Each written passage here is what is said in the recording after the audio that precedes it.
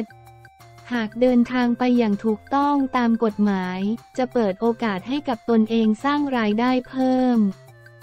โดยมีหลายประเทศที่เปิดโอกาสให้แรงงานสาขาต่างๆ เข้าไปทำงานได้อย่างถูกต้อง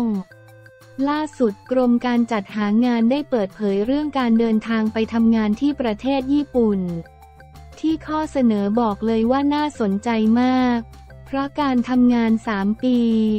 จะมีรายได้ประมาณ 2 ล้านบาท จะมีการสอบคัดเลือกผู้ฝึกงานเทคนิคในประเทศญี่ปุ่นณศูนย์สอบกรุงเทพมหานครด้วยวิธีทดสอบสมรรถภาพร่างกายและสอบความรู้ความสามารถด้านภาษาญี่ปุ่น ผู้ที่สนใจสามารถสมัครสอบได้ที่เว็บไซต์ t o y a d o g o t h ลงทะเบียนอิเล็กทรอนิกส์การบริหารแรงงานไทยไปต่างประเทศ กรอกข้อมูลเพื่อลงทะเบียนคนหางาน ดูรายการสมัครไปทำงานโดยรัฐจัดส่ง สามารถศึกษาวิธีการสมัคร คุณสมบัติผู้สมัครและเอกสารที่เกี่ยวข้อง ที่เมนูข่าวประกาศรับสมัครหัวข้อประกาศคณะอนุกรรมการจัดส่งผู้ฝึกงานเทคนิคคนไทยไปฝึกงานประเทศญี่ปุ่น ผู้ฝึกงานเทคนิคในประเทศญี่ปุ่น ผ่านองค์กร IM Japan ปี 2566 ครั้งที่ 5 ในประเภทอุตสาหกรรมการผลิตและก่อสร้าง อาทิงานหล่อกลึงโลหะงานปั๊มขึ้นรูปโลหะงานเชื่อมงานประกอบชิ้นส่วนอิเล็กทรอนิกส์ งานบำรุงรักษาเครื่องจักรงานพ่นสีงานหล่อพลาสติก งานซ่อมบำรุงรักษารถยนต์งานแปรรูปอาหารเป็นต้นสมัครทางออนไลน์ฟรีไม่มีค่าใช้จ่ายตั้งแต่บัดนี้วันที่ 18 สิงหาคม 2566 โดยองค์กร IM Japan จะรับผิดชอบค่าใช้จ่ายดังนี้ ตัวเครื่องบินไปกลับ ฝึกปฏิบัติงานครบ 3 ปี ผู้ที่ผ่านการคัดเลือกเป็นผู้ฝึกปฏิบัติงานเทคนิค เดือนแรกจะได้รับเบี้ยเลี้ยง 80,000 เยน หรือประมาณ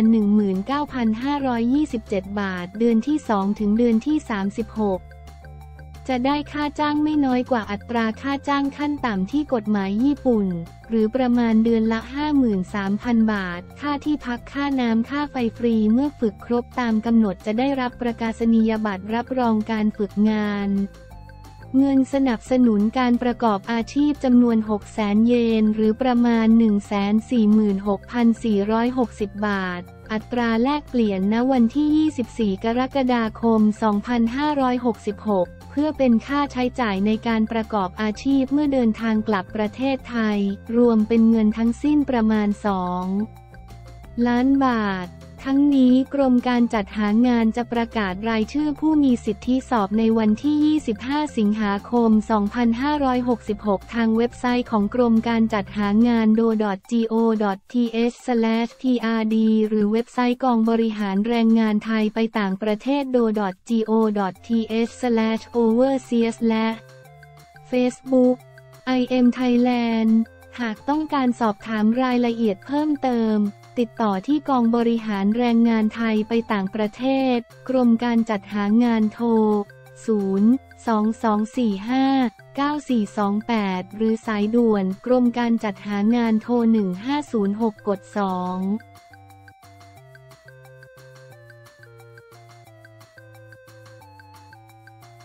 เจนนี่เปิดใจสาเหตุแท้งลูกต่อให้ทำใจแล้วรับไม่ไหวอยู่ดี ยิว ร้องกอดลูกไม่หยุดเจนนี่เปิดใจครั้งแรกสาเหตุแท้งลูกคนที่สองลั่นต่อให้เราทำใจแล้ว เมื่อถึงเวลาก็รับไม่ไหวอยู่ดีด้าน ยิว ร้องไห้กอดลูกไม่หยุดยังไม่รู้เพศลูกเลย เป็นข่าวสุดเศร้าของครอบครัว ได้หมดถ้าสดชื่น เมื่อวันที่ 31 กรกฎาคม 2566 ว่าที่คุณแม่ลูกสอง เจนนี่รัชนก หรือเจนนี่ได้หมดถ้าสดชื่น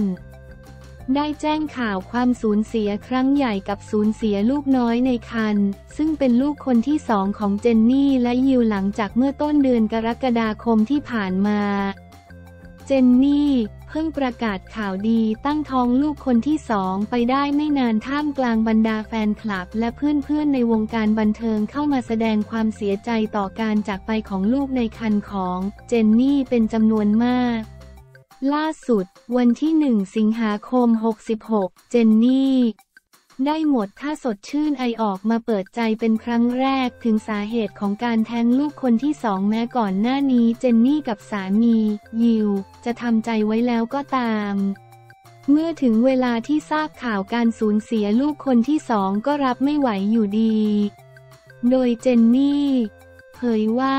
ขออนุญาตใช้พื้นที่ตรงนี้แชร์ประสบการณ์สั้นๆให้ฟังนะคะ อย่างที่ทุกคนทราบกันว่าเจนนี่ได้ตั้งครรภ์มีลูกคนที่สองเจนนี่ตรวจเจอน้องเมื่อต้นเดือนที่ผ่านมา จนกระทั่งน้องอายุครรภ์ได้เจ็ดวีกว่าๆเจนนี่มีเลือดไหลบริเวณช่องคลอด จึงได้ไปหาลุงหมอลุงหมอตรวจอัลตราซาวน้องหัวใจเต้นปกติ อยู่ในบริเวณมดลูกปกติ แต่คุณหมอบอกว่ามีเลือดไหลเยอะกว่าปกติ จึงให้เจนนี่ฉีดยากันแท้ง มีสั่งยากลับบ้านให้เจนนี่สอดยาเช้าเย็นทุกวัน รวมถึงกินยาฮอร์โมนวันละสามเวลาเพื่อเพิ่มฮอร์โมนในรังไข่ เพราะคุณหมอบอกว่าสาเหตุของการมีเลือดไหล อาจจะมาจากฮอร์โมนไม่เพียงพอ หรืออีกสาเหตุคือน้องไม่สมบูรณ์คุณหมอก็มีบอกให้ทำใจไว้บ้าง เพราะเคสแบบนี้เจอเยอะมากๆ หลังจากนั้นเจนนี่ก็กลับบ้านมากินยาสอดยาตามหมอสั่งผ่านไปสักระยะเลือดมีไหลมากขึ้น และเจนนี่มีอาการปวดท้องน้อย เจนนี่จึงได้โทรนัดตรวจกับป้าหมออีก รอพอเพื่อความชัวร์ตรวจหลาย ๆ ที่เพื่อความสบายใจ จนกระทั่งวันนี้ที่เจนนี่ได้ทำการอัลตราซาวครั้งที่สองปรากฏว่า ป้าหมอไม่เจอหัวใจของน้องแล้วป้าหมอพูดไม่ทันจบป้ายิวก็ร้องไห้แล้วเดินออกไปจากห้องตรวจ มดลูกของเจนนี่ไม่มีแผลไม่มีอาการผิดปกติ แต่สาเหตุมาจากน้องไม่สมบูรณ์เคสแบบนี้ถือเป็นการคัดเลือกแบบธรรมชาติเปรียบเสมือนการปลูกเมล็ดถั่วบางเมล็ดสามารถเติบโตได้บางเมล็ดไม่สามารถเติบโตได้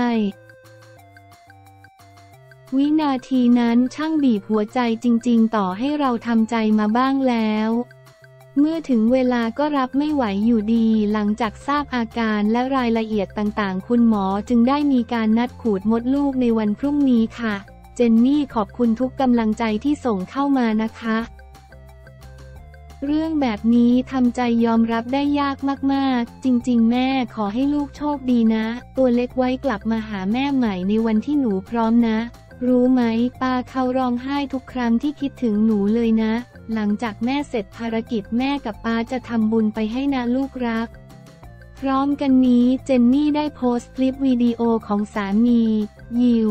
ร้องไห้ตาบวมแดงและกอดลูกสาว น้องยูจิน ไว้แน่นหลังทราบข่าวการสูญเสียลูกคนที่สองและเผยความรู้สึกทั้งน้ำตาว่า ลูกไม่อยู่แล้ว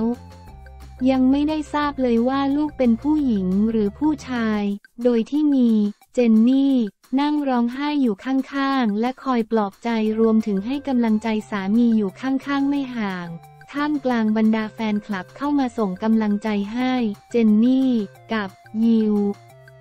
เป็นจำนวนมาก ขอบคุณเฟซบุ๊กน้องเจนนี่ได้หมดถ้าสดชื่น